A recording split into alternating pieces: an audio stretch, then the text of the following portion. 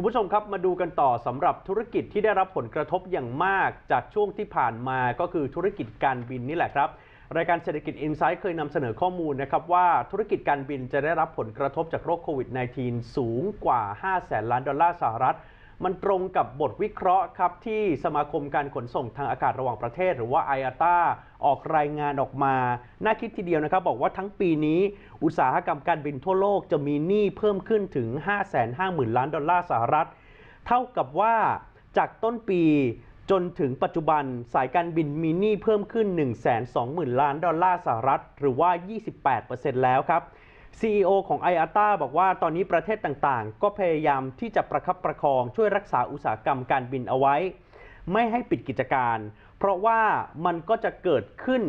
ต่อเนื่องเป็นลูกโซ่ และทำให้เกิดการว่างงาน แล้วก็ส่งผลกระทบโดยรวมกับภาพเศรษฐกิจนะครับนี่ที่เกิดขึ้นก็จะเป็นความช่วยเหลือจากภาครัฐที่จะเข้าไปพยุง IATA บอกว่าในภาพรวมแล้ว รัฐบาลทั่วโลก รับปากที่จะให้ความช่วยเหลือทางการเงินกับสายการบินกว่า 1 2 0 0 0 0 ล้านดอลลาร์สหรัฐ แสนสองหมื่นล้านดอลลาร์สหรัฐแบ่งแบบนี้ครับ ก้อน 67,000 ล้านดอลลาร์สหรัฐกันเอาไว้สำหรับใช้หนี้ อีกส่วนหนึ่งเอาไปอุดหนุนค่าจ้าง เกือบ 35,000 ล้านดอลลาร์สหรัฐ เอาไปเป็นแหล่งระดมทุนผ่านส่วนของผู้ถือหุ้น หรือว่า equity financing กว่า 10,000 ล้านดอลลาร์สหรัฐ และช่วยอุดหนุนภาษี 9,700 ล้านดอลลาร์สหรัฐ นี่ถือว่าสำคัญทีเดียวนะครับ และเฉพาะไตรมาส 2 นี้อย่างเดียว คาดว่าจะใช้เงินสดถึง 60,000 ล้านดอลลาร์สหรัฐสำหรับสายการบินทั่วโลก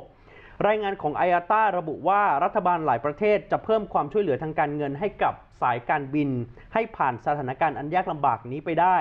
รวมถึงอัดฉีดเงินสดเข้าไป เพื่อที่จะป้องกันภาวะล้มละลาย รัฐบาลไหนที่ตอบสนองช้า อัดฉีดเม็ดเงินช้า จะทำให้สายการบินล้มละลายอย่างที่ปรากฏเห็นในออสเตรเลีย อิตาลี และไออาตาพูดถึงประเทศไทยนะครับ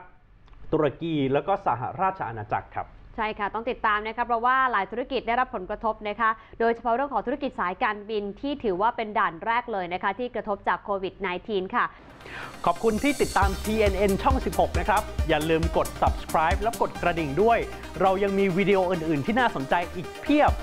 และถ้าท่านต้องการติดตามคอนเทนต์แบบสดๆ เข้าไปดูได้เลยครับที่ Facebook TNN Live หรือสามารถติดตามผ่านช่องทางอื่นๆ ได้ที่ลิงก์วิดีโอด้านล่างนี้เลยครับ